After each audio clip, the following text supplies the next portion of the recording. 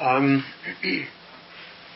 we, we usually try to look at basic issues, fundamentals, particularly now that we're beginning the cycle of uh, reading the Torah again.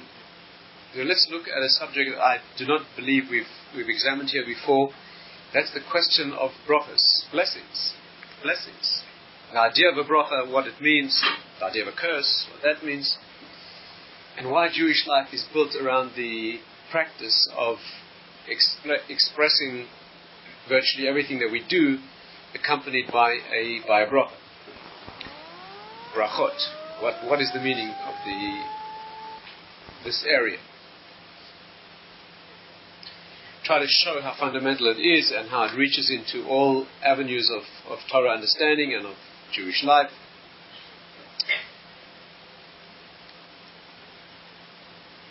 Perhaps we, we, we can start like this. You know that a fundamental question would be this.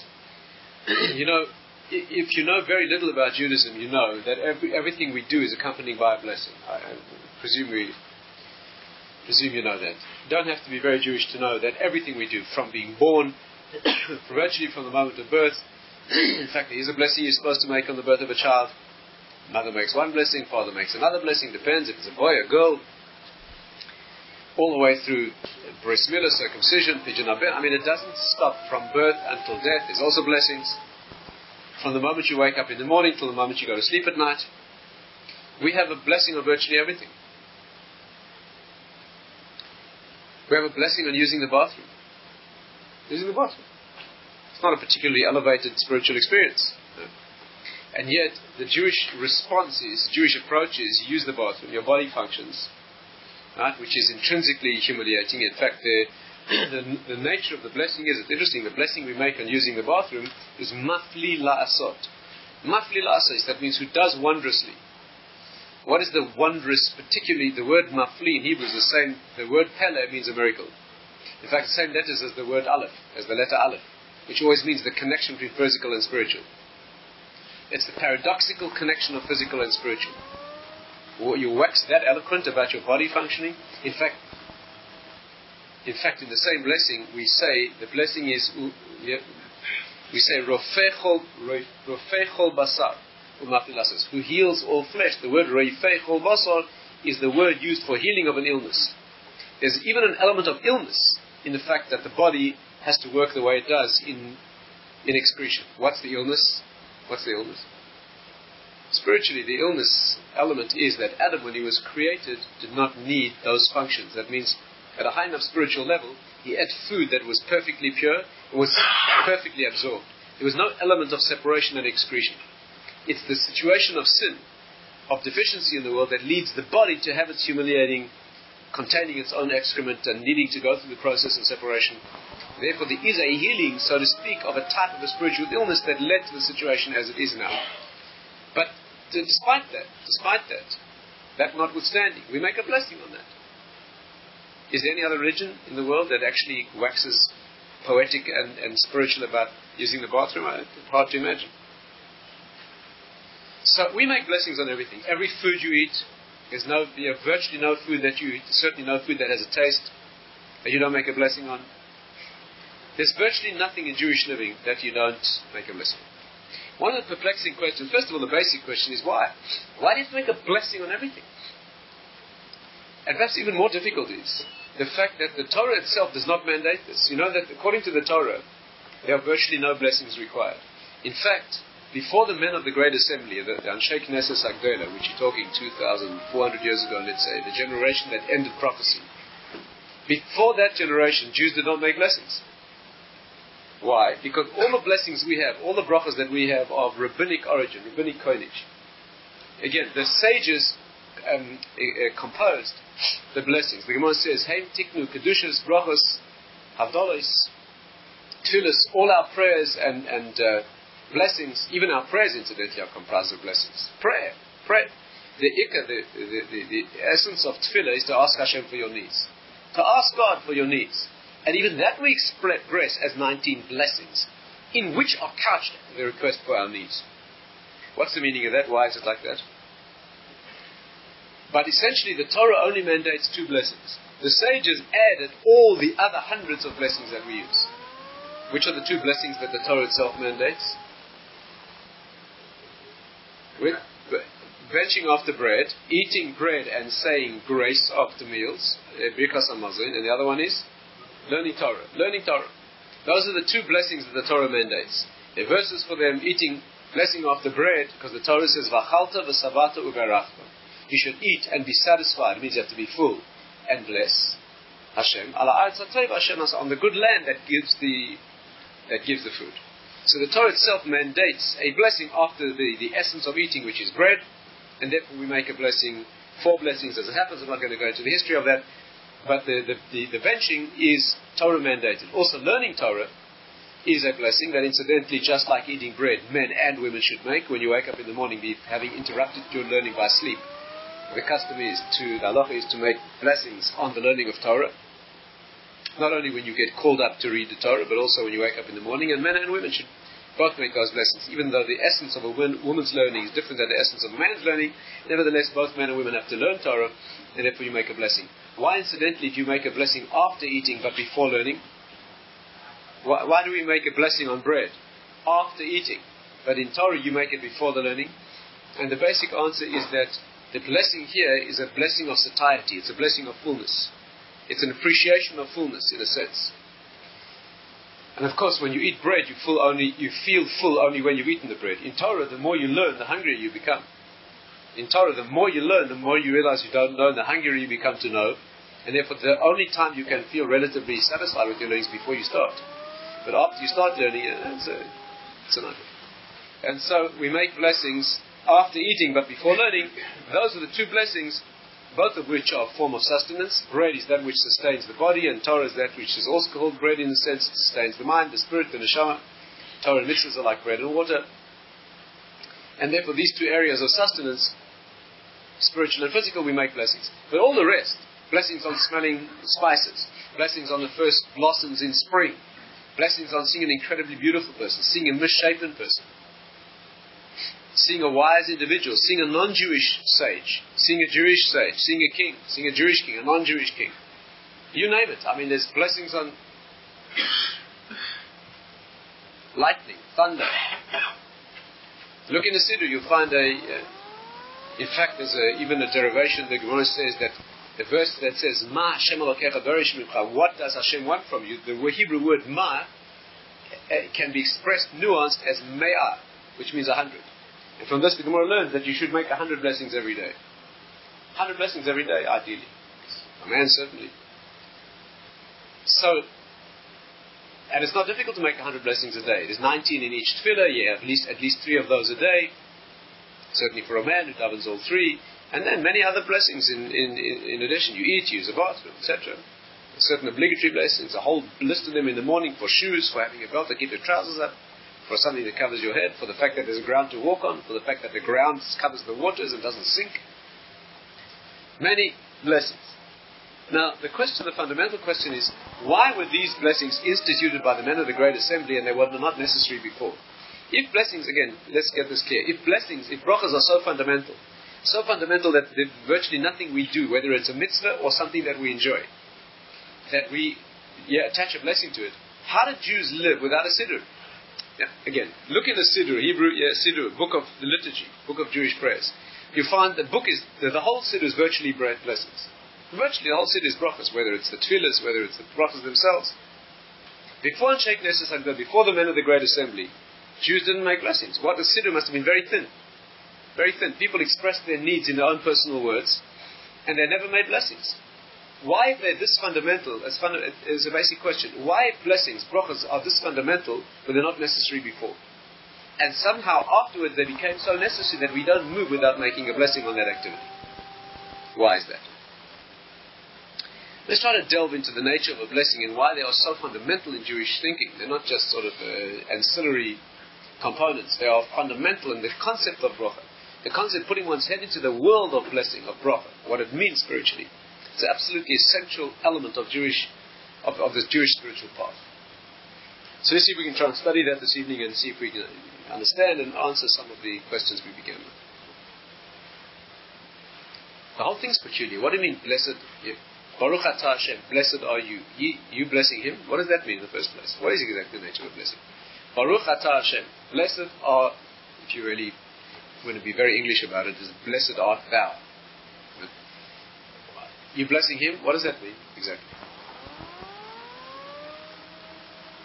Uh, let's try to understand this. First of all, what's the nature of a bracha itself? What is the nature of bracha? What does that mean spiritually? The Jewish concept of bracha, of blessing, means increase. It means multiplicity, multiplication. And let's get that clear.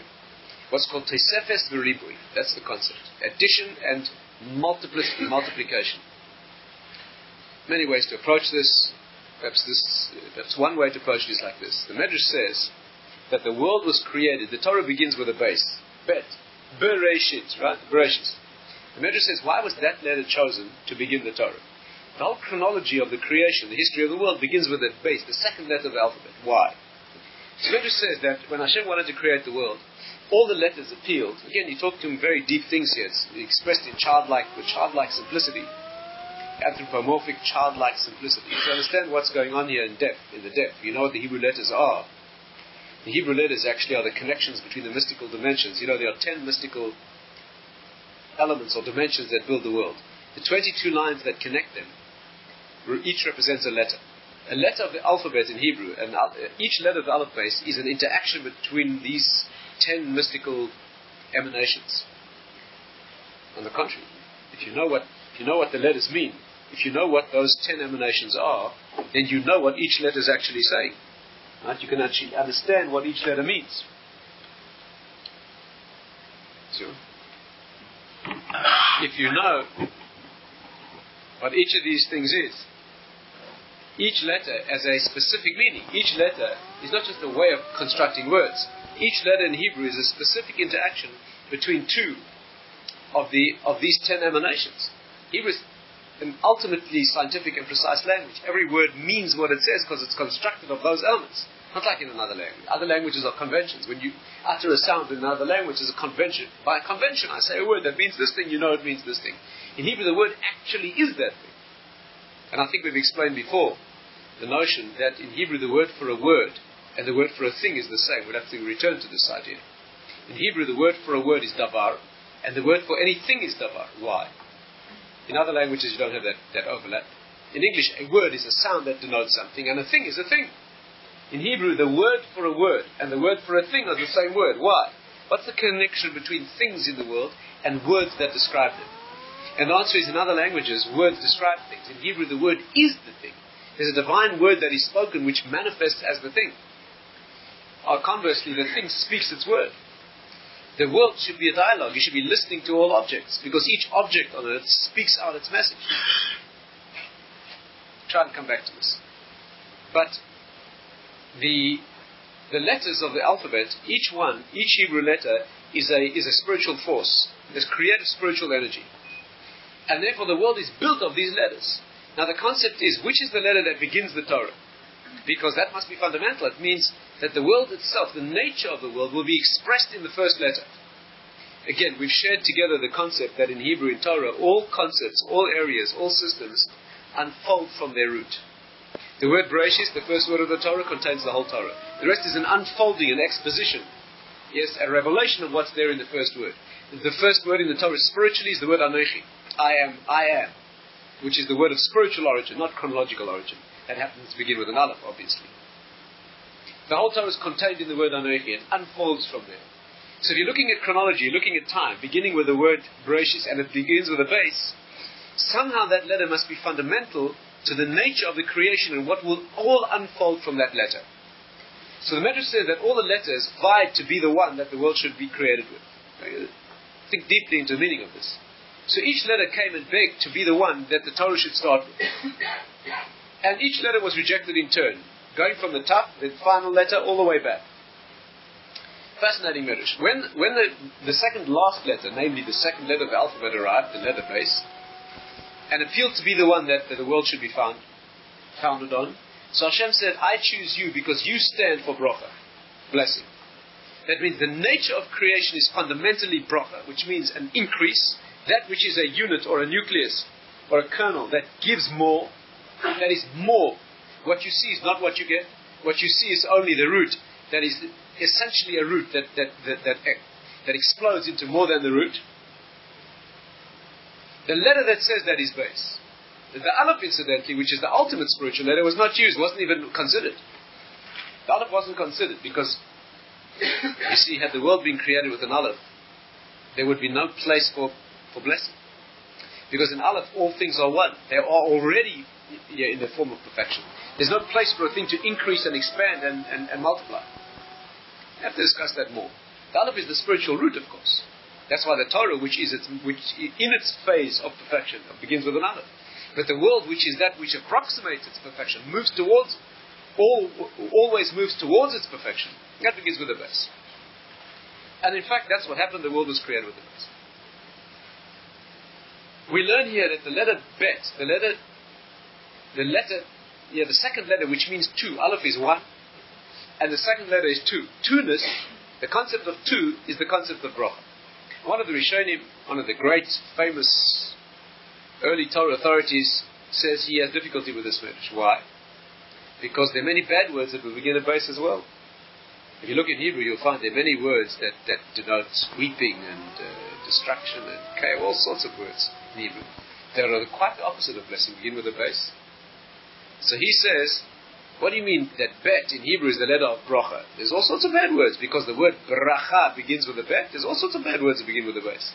What's the meaning of this? So that Maharal says in characteristic, I mean, it's one of those places where you hear the Maharal argue with the Rishonim. It's a remarkable thing, and he uses very strong language. The Maharal says that Ibn Ezra did not go down to the root of that they never he never plumbed the depth of the meaning of the sage. I mean, to say that about be able to say that about Ibn Ezra, you, you need to be the Maharal, but that's what he says. And what and the concept is this: not that the word bracha begins with a bet, and therefore beis itself is the concept of bracha. In fact, he points out very, very potently that the word bracha in Hebrew, the word, the root baruch in Hebrew, is two, twenty, and two hundred. Its yet beis, resh, and chaf in Hebrew are two, twenty, and two hundred. In other words, all multiplicities, all expressions of two-ness in the alphabet are contained in the word blessing. It isn't only two. It isn't only that the word begins with a bet, which means two. The word itself is all dimensions of two-ness. You know, in Hebrew you have only units, tens, and hundreds. That's all there are. That's all there is. Because a thousand, Aleph, a thousand is the highest number on the decimal system that's expressed in the alphabet. Aleph is the same as Aleph. You go back to the beginning. There's no higher number in the Hebrew in Hebrew, yeah, there's no he, there's no, no Torah word that expresses more than a thousand. The word revava in Hebrew, which is often translated as tens of thousands or ten, it just means much. Revava means much. But the highest specific number is Aleph. So you have in the two in the, units, the tens and the hundreds, you have two. You know, of course, the word Baruch also means the knee. You know that. You know that. Berech in Hebrew is also a knee. Why? That's your homework. That you can think about.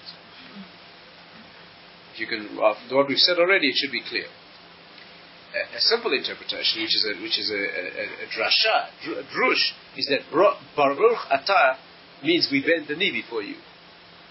Yeah, we acknowledge that it's you. That's what a blessing means. One of the meanings of a bracha, and and in, yeah, but there's there's much deeper. Berach means. I'm sure you'll be able to work it out.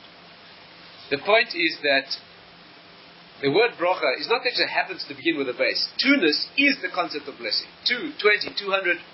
Why is that? Because the concept of bracha in Jewish terms, again, we have to get non-Jewish and secular concepts out of our head.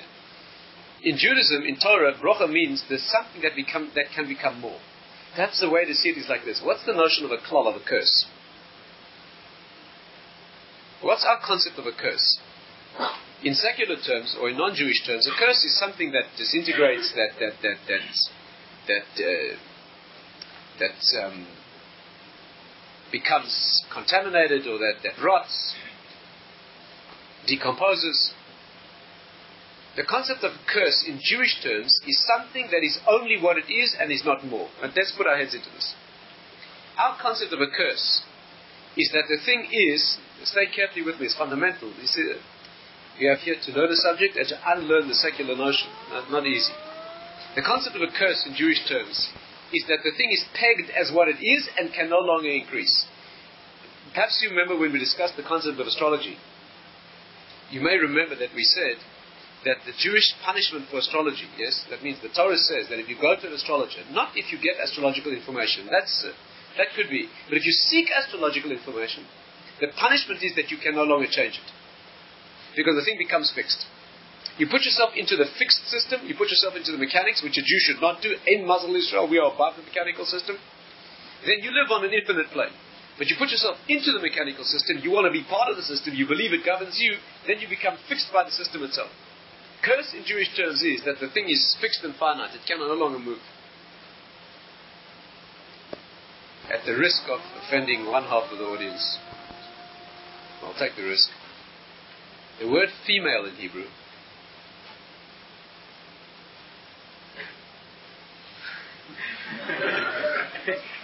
the word female has an aspect of curse.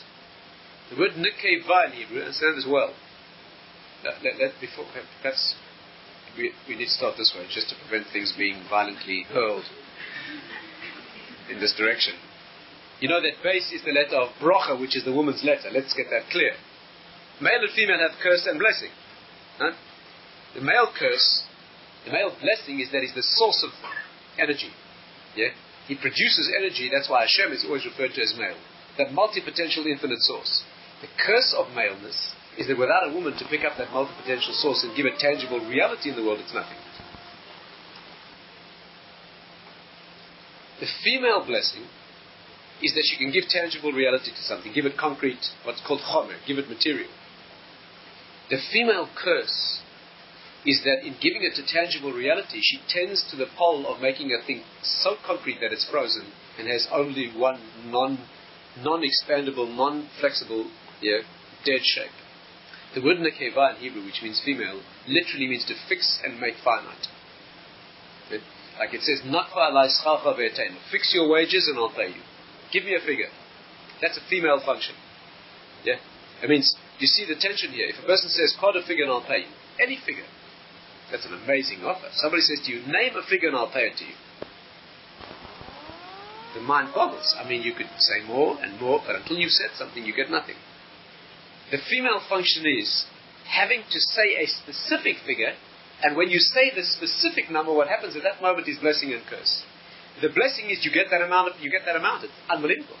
The curse is not one penny more. You, whatever figure you said, you, do you understand what's happening here? The female function is to give tangible, specific, finite, ultimately limited expression to all the potentialities that could have been. The blessing is you have something real in the world. In the biological world. In the world of mammals. The male gives seed by the billion. The woman gives only one at a time. Billions get lost and destroyed. And she decides which one to express and only that one. That's the curse, all the rest die. The blessing is a child is born. A child is born, something is real in the world. And of course, the skill of being female is to give that thing tangible reality only enough to express it in the world, but not to freeze it and kill it. That child must not be something that is static. It must grow and grow and grow until it has to tear itself away in pain and danger. But it does, and it continues growing. She has to give tangible reality to the spark so it becomes a flame, but an ever growing flame. And that's the tension, that's the difficulty. Curse means pegging a thing as finite and not allowing it to be that spark that becomes a flame. That's the danger of the female side of reality.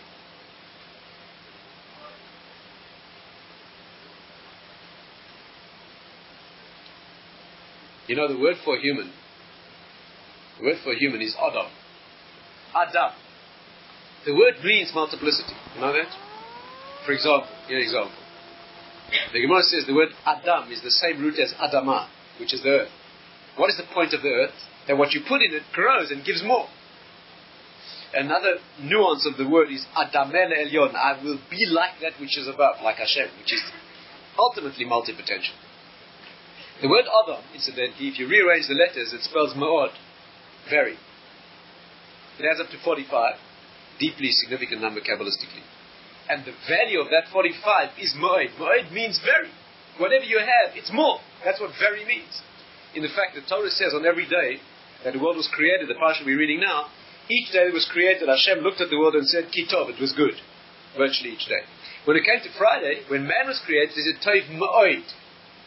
man is represented not only that the letters of Adam Amoid, but man is, human being, is that which is very. The rest of the world is not like that. Everything else on earth is simply what it is.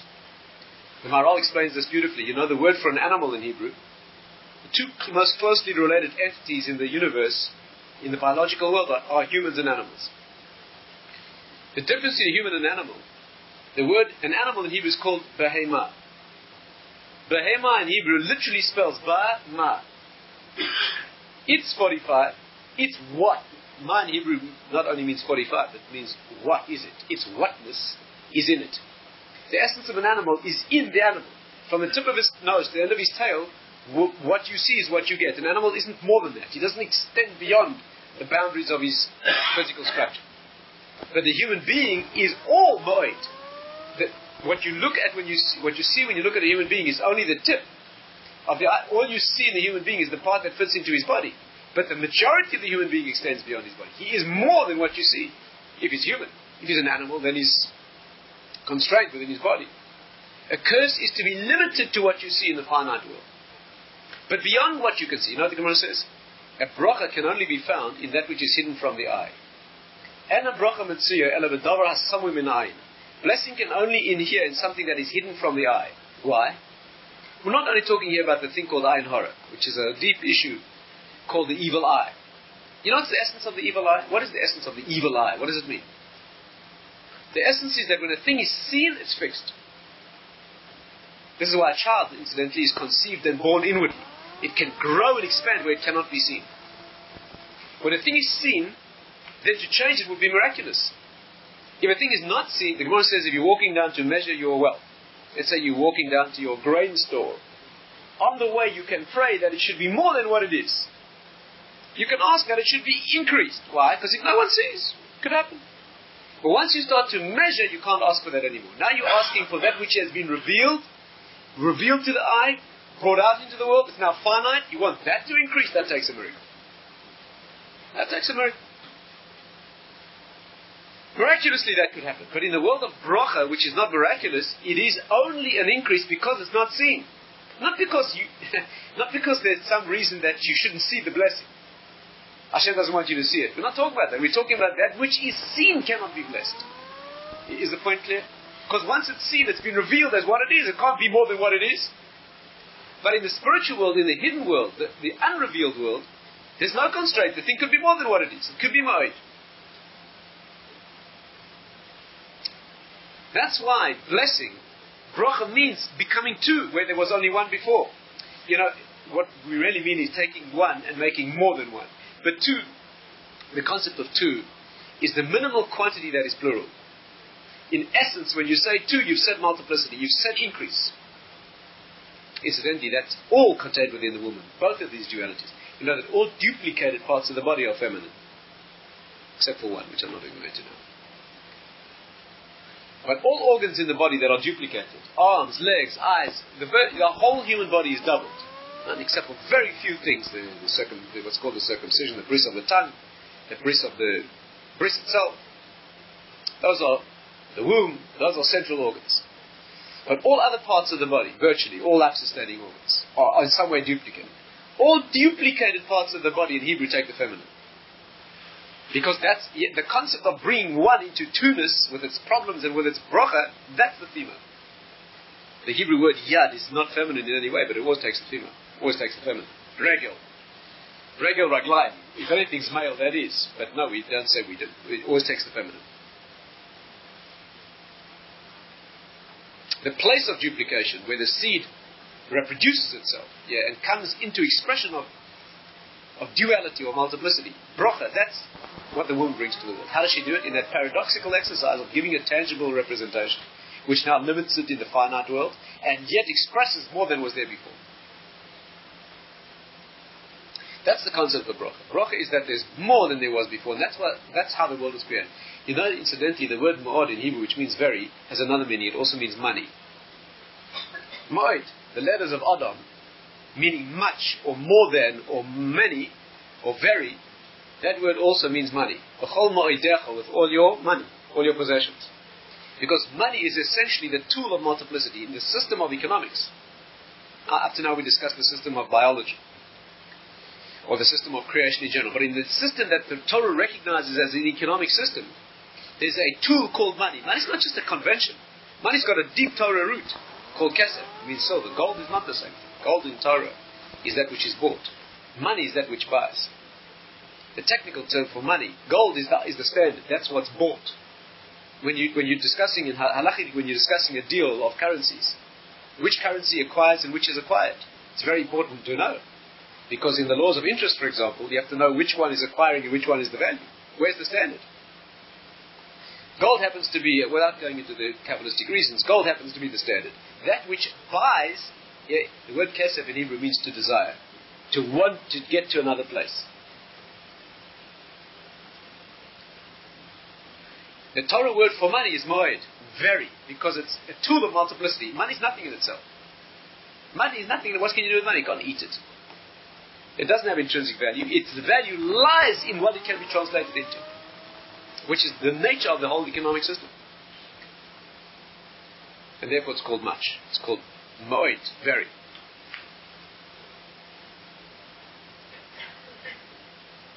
Bracha means that the thing becomes more.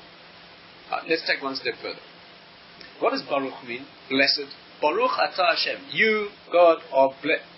Nebuch explains like this. It's a, it's a travesty to think that it means I'm giving him a blessing. What bracha means is, Hashem, you are the source of this blessing. Baruch, Baruch means, uh, the, there's one thing we, we walk out of here this evening knowing, it should be this. When you make a bracha, when you make a blessing, what are you doing is you're identifying the source of the multiplicity that is this blessing. When you take an apple in your hand and you say, Baruch atah Hashem, you Hashem, yeah, you are the creator of this fruit of the tree. You're not giving him a blessing for having done this like yasher koach, you know, well done, and you, you. What you mean is, what you mean is that this, you Hashem are the source of this apple. The deep meaning is, you Hashem are the source of the multiplicity. That means you brought the thing into existence from a seed or from a nothingness. There's been a multiplicity. The whole idea of a fruit, incident. The whole idea of a fruit is that it's a source of infinite multiplicity. That's what a seed is, what a fruit is. Why is a fruit that why is a fruit that which has seeds? Why in the same place on the plant is the fruit and the seed? Because the tachlis, the end product, the part that is created for your use, which is where the sweetness is, is also the secret of infinity. Because in a remarkable thing I can learn from a fruit. A fruit is the place that is the final product that's edible. The tree created for that, to give you that. That's incidentally why in blessings, you know that are two kinds of blessings we make. We make boire tree. Yeah, blessed is he who is the creator of the fruit of the tree, the ground, whatever it is. And the other blessings that do not have the word boire in, like for example, yeah, for example, shakol nia bidvaroi. Everything is by your word. When you drink a glass of water, you eat an egg, or you eat meat, or cheese, or milk, anything like that, you say, eat meat, for example. You say shakol bidvar. You don't mention the word creation. Why? The deep meaning is that all the blessings that have the word creation in are referring to things that were created for your use. Their creation is for you, so when you use it, you make that blessing. Meat was not created for your use. But you're not supposed to eat meat. Eating meat is a, is a, is a fault line. Only because of the flood and because human beings saved the animals after having condemned them to death that animals owe their existence now to human beings because they were saved in the flood, and as a fallen state we eat meat. But what's not originally created to be eaten, and once again in the future will not be eaten by human beings. The plant world was created for human use to be eaten. So we say boire priya, it's boire priya Bom. But shakol niyabidvar, we don't say it was created for my use, animal world was not originally.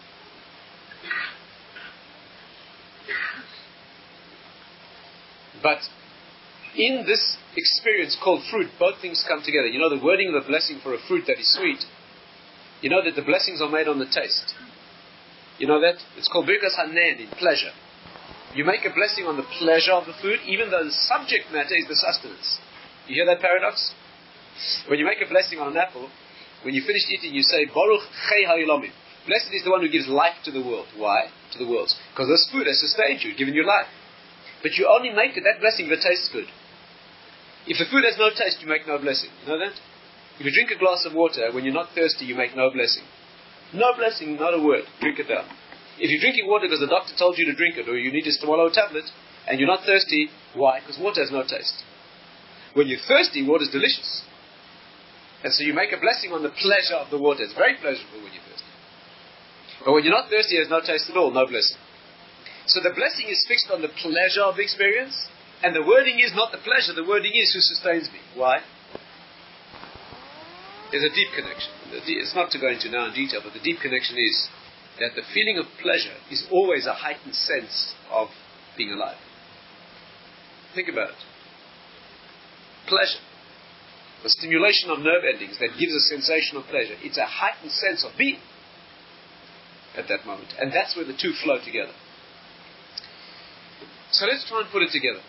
The concept of bracha means ribui, tosefes, there's more. You can look this all up in the Nefesh he speaks of that very plainly. And Baruch Ata Hashem, you Hashem are the source of this blessing. And you identify Hashem as the source. The Kabbalistic mechanism is that when you identify Hashem as the source, he becomes more of the source. The Chaim says, when you point out that Hashem is the source of this particular thing, an energy comes down that gives more force and energy to that thing. And it, it, it undergoes an increase. It undergoes a process of Tosefes Veribo. You bring down Shefa, what's called in the in the deeper writing. Shefa means a flow of, of energy, a flow of input into that thing. That's what the bracha does. It's not only an appreciation. It's by no means only a, an expression of thanks. It has that connotation too. But it's much more than that. It's an identifying of the source in such a way that that source brings more. That's why the Kabbalistic tool was always to intend in the blessings the specific nuances of the divine names. Because then you would be appealing and going directly to the particular source of this thing and bringing down the particular energy into this thing. Not just meaning a general bracha. Today we, we hardly do that because it's a tremendously developed skill and to maintain focus. Difficult enough just to remember who, who, to whom you are saying this blessing at all, let alone exactly which nuances of Kabbalistic words and names. So it's virtually a lost art. But specifically it was to go to the specific area, as it were, a particular creative source and bring down the effect from that source. That's what a blessing is. You have to understand that saying a bracha in the world is not just mumbling a, a, thank you. That would be enough, but it's much more than that. It's connecting to the source of creation here. When a Jew makes a blessing, you're connecting to the source, you're identifying the source and bringing it into expression in the world. Not just saying thank you. That's what it is. That's why children should be taught to make blessings, even if they're too young to really speak out the whole thing. How, how do you teach a child to make a, to bench after meals, to make blessings after meals? It's a long, it's a long thing. A little child, the child should be made to say thanks Hashem, thank you Hashem. Or the Gemara says when little children were too young to, to, to make brachas, they used to teach them to say Brich Rachmana Mara Dahai Pita. Blessed is the, the merciful one, master of this bread. That's all. As your child gets up and is too young or too impatient to make a bracha, to bench, say to him, say, Brich Rachmana, you Hashem are blessed, yeah, master of this bread, and thanks Ima for the meal. Thanks also, not only Hashem, the mother also had a, had a hand. Child is to say thanks to both of those. Let's try and answer the questions we began with and see if we can put it together. Why is everything that we do now a blessing? I think you can see. Because everything, yeah, you have to identify the source, acknowledge the source, focus on the source, and bring it down. Why did Jews not make blessings before? Uh, let's put our heads into this for a few moments.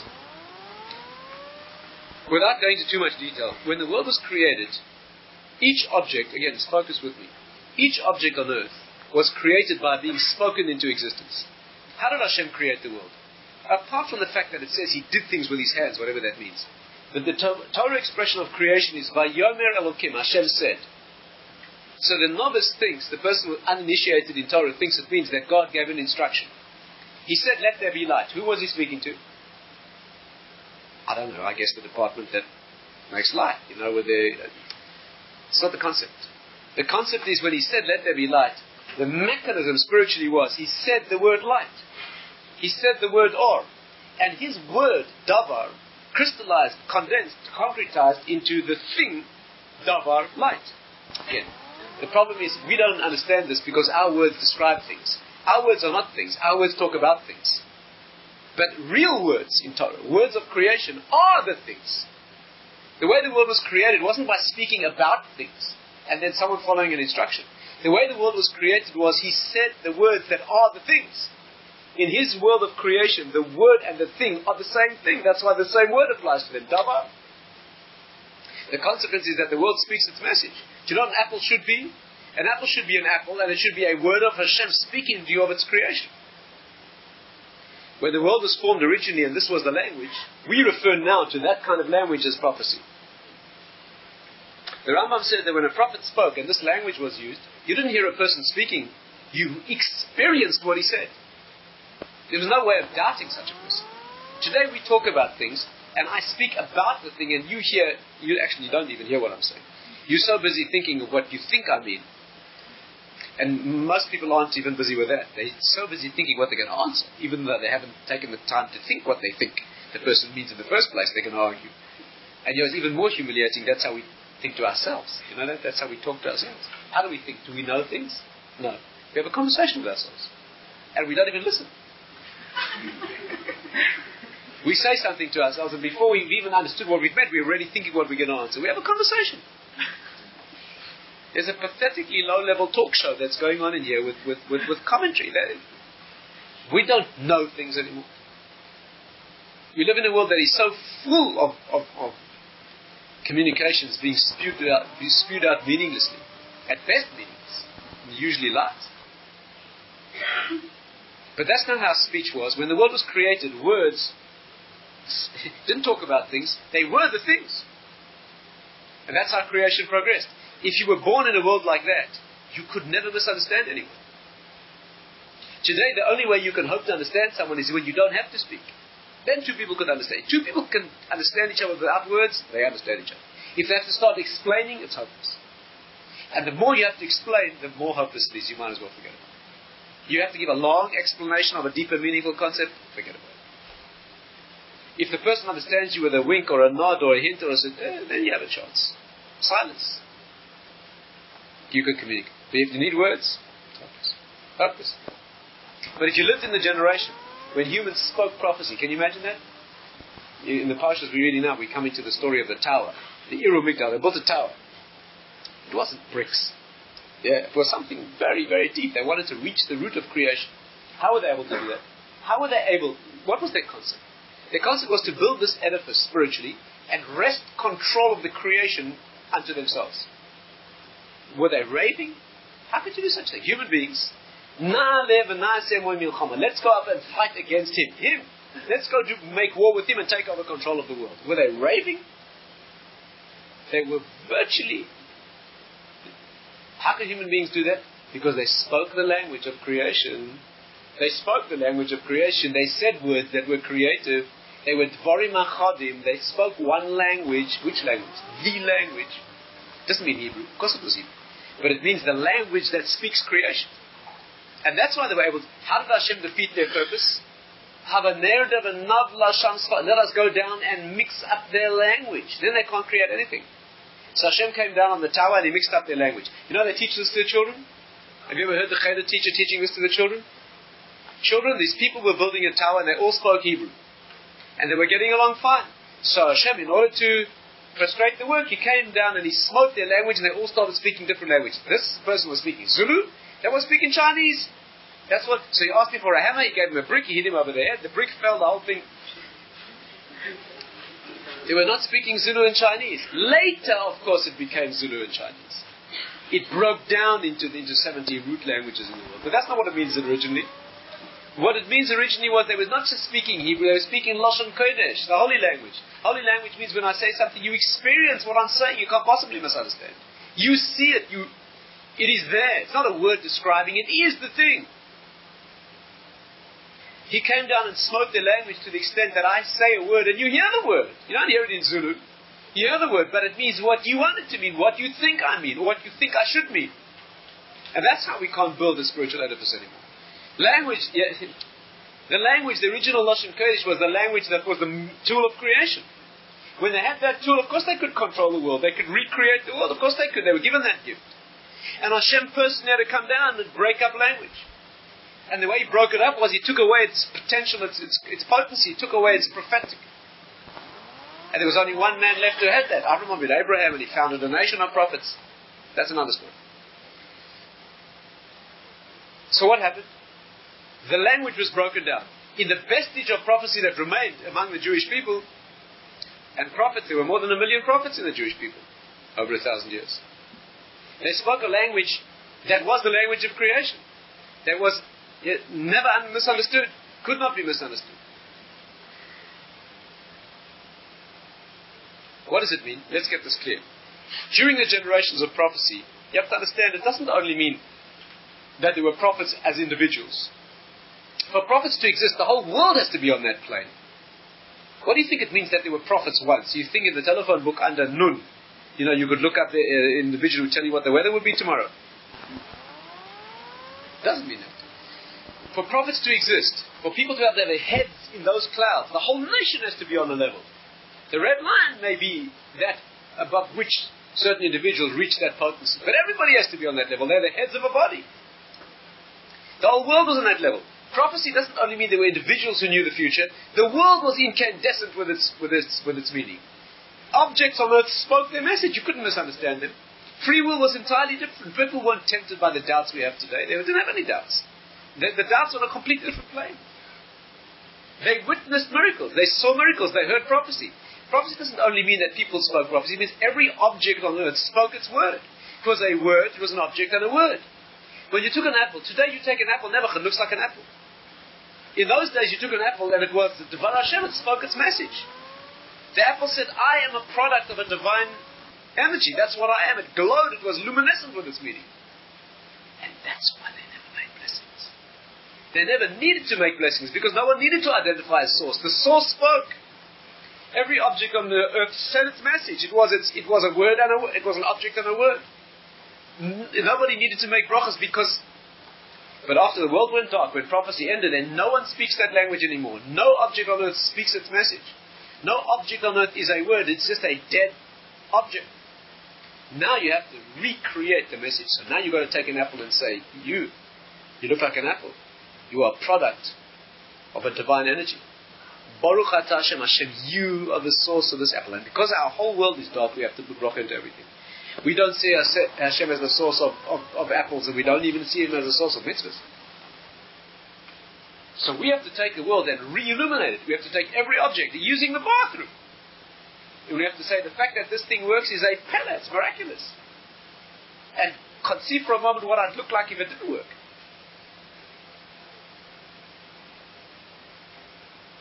It's a big blessing having a rectum. You may not think so. But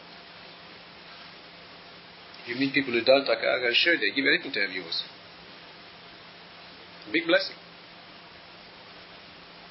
So you have to conceive what it'd be like for a while without it. You have to make a bracha. That means you identify Hashem as the source of all this incredible complexity that works. And when you take an orange or an apple or banana or bread, you're identifying the source. Baruch Atah Hashem means Hashem, you, I acknowledge you are the source. It's an acknowledgement and it's a thanks. It's a sign of humility too. You guys say, Hamotzi lechem It's Hashem, you bring forth bread from the earth. You know what the humility We don't know because today you go buy bread. But you know what bread means? You know what it means to have a loaf of bread. Do you know how much work is involved in a loaf of bread? Do you know, the, you know what taking the stones out of the field means and then plowing the field? And then putting the seeds into the field and then covering it up and then watering it day after day after day for season after season till finally you have some wheat and then you have to cut that and you have to thresh it and you have to winnow and you have to eventually have enough flour to bake it a loaf of bread of immense work over months. And what does a Jew do? You take those breads and you say, You Hashem bring out the. If, if there's one moment in your life when you can think, I brought something forth from the earth, it's at the moment when you hold the loaf of bread in your hand. It's an immense amount of work of bringing it forth from the earth. We take the loaf of bread and we say, Ata Hashem, You bring the bread out of the earth. That's a tremendous statement of human, of acknowledgement of source, where you might well make a mistake.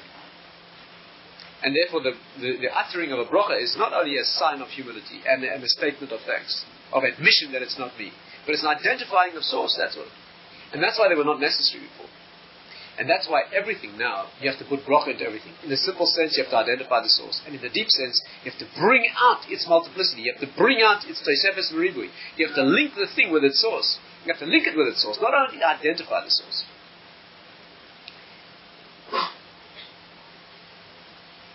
That's why brachas are essential. Identifying source is one of the most fundamental processes of human development. In the spiritual world, you know, there are many midas, many midas, overcoming jealousy, overcoming anger. There are all sorts of midas, sensitivity to people's feelings. One of them is gratitude, what we call hakaras hatov, acknowledgement of where good comes from. And many sources indicate that it's the most important. The most important. Why? Why is gratitude, saying thank you to somebody who did something for you, why is it more important than not getting angry, not being jealous, or being sensitive? Why? Because in one fundamental sense, it has something that no other quality has. In Hebrew, when you say thank you, you see in English you can't do this.